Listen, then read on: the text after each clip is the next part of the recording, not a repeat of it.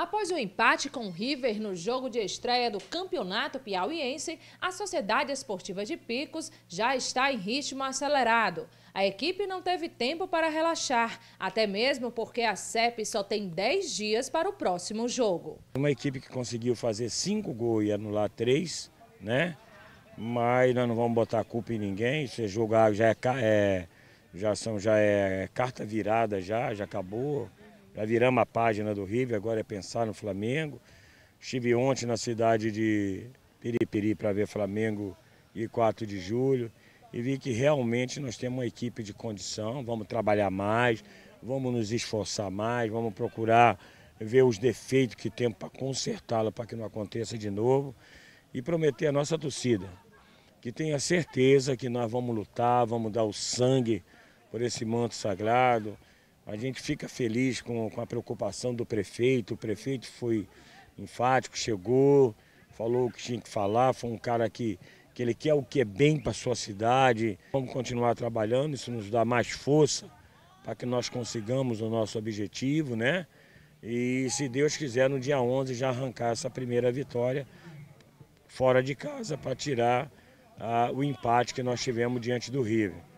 O atacante Rafael Freitas acredita que durante esses 10 dias a equipe vai corrigir os erros da partida anterior e conquistar a vitória no próximo jogo contra o Flamengo, que vai acontecer na capital teresina. O River era uma grande equipe, a gente sabia da dificuldade que encontrar, mas eu acho que dentro da circunstância do jogo foi um bom resultado. Dentro de casa, apesar de ter sido dentro de casa, a gente conseguiu empatar no final.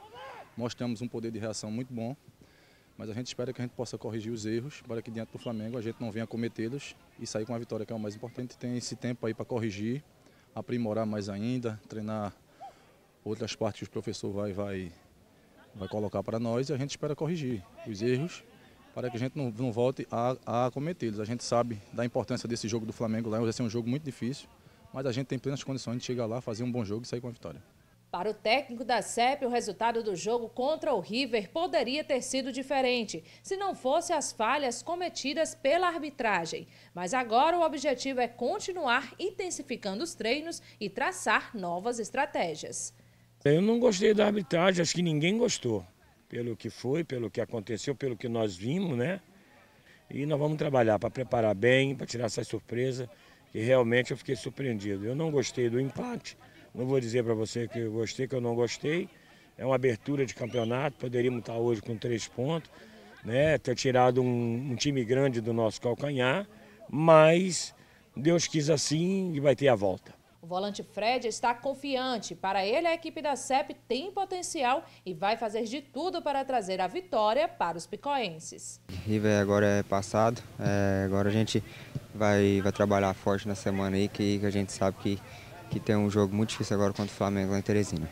Então, o objetivo é a vitória, né? Com certeza. É, a gente somou um ponto agora dentro de casa, agora a gente vai ter que buscar esses três pontos contra o Flamengo lá, lá em Teresina. É, a gente sabe que o campeonato é difícil, é, todas as equipes aí estão é, tá nivelado do, do, mesmo jeito, aí, no mesmo nível, mas a gente tem uma equipe forte, uma equipe de, de só jogador aí, é, rodado aí do futebol piauiense e a gente espera agora é, conseguir esses três pontos na Teresina, que vai ser muito importante para a gente seguir forte na caminhada e arrumar o título.